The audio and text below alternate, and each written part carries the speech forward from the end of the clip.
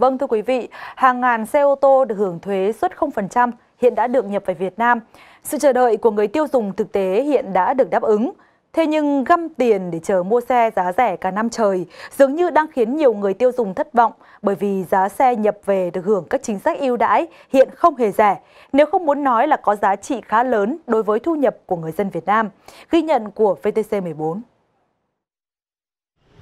Anh Nguyễn Văn Quân, phường Dương Nội, quận Hà Đông, thành phố Hà Nội, sau hơn 3 tháng chờ đợi để được mua xe giá rẻ với mức thuế nhập ưu đãi thì đã nản. Ngày hôm nay, anh Quân quyết định đi mua một chiếc xe bán tải, chạy lướt và cũng là xe nhập. Giá trị nó rất lớn. Nếu như trung bình những chiếc xe như vậy nó rơi vào cỡ khoảng ờ, 6 700 triệu, 700 triệu thì tôi nghĩ rằng nó hợp lý. Còn để làm với 1 tỷ thì tôi nghĩ nó vẫn là dòng xe cao cấp. Ghi nhận của VTC14 cũng cho thấy tỷ lệ xe đăng kiểm mới tại các trung tâm đăng kiểm hiện khá thấp. Như tại trung tâm đăng kiểm xe cơ giới 8801S, tỷ lệ xe mới đăng kiểm chỉ chiếm 9%, trong khi đó năm 2017 là 14%. Và những người mua xe mới thì là do có nhu cầu thực sự và họ cũng không hy vọng nhiều sẽ mua được xe ô tô giá rẻ khi thuế suất về 0% như trường hợp anh Nguyễn Duy Tiên ở Vĩnh Yên, Vĩnh Phúc. Chính sách thuế thì chúng tôi cũng ờ, đã chờ rất lâu, tuy nhiên là do là cái ờ, cơ chế thuế của mình nó cũng rất nhiều cái thay đổi. Ờ, tôi nghĩ là trong đợt tới chắc nó cũng sẽ có những cái thay đổi khác, không phải là cái thuế nhập khẩu nữa mà nó sẽ liên quan đến các cái thuế khác.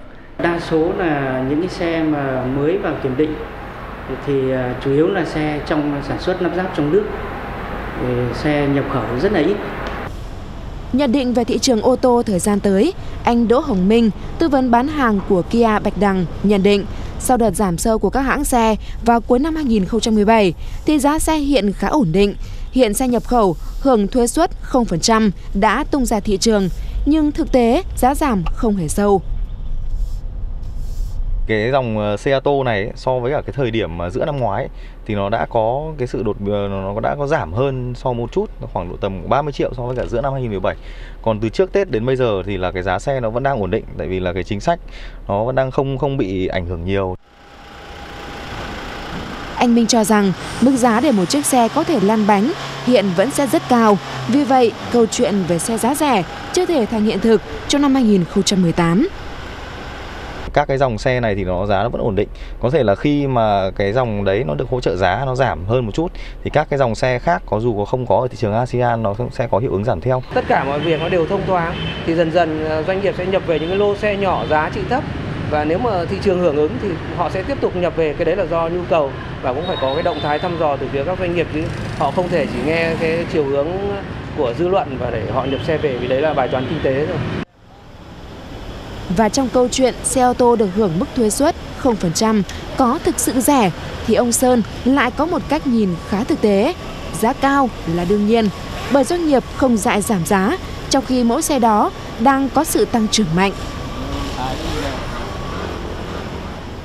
Bài toán của doanh nghiệp, không ai ép người, doanh nghiệp phải bán ở mức giá thấp, trong khi người ta vẫn đang bán ở mức giá cao. Thì ờ, khi mà có cạnh tranh tức khắc thì giá xe, giá thành xe sẽ hạ chứ nếu mà tôi đang chơi một mình một phân khúc thì tôi sẽ bán ở cái mức mà tôi cảm thấy hài lòng Cùng quan điểm, kỹ sư Lê Văn Tạch cũng cho rằng mức giảm sẽ có nhưng không nhiều. Nếu xét về mặt bằng chung thì giá xe tại Việt Nam hiện vẫn cao hơn 2,5 lần so với các nước trong khu vực.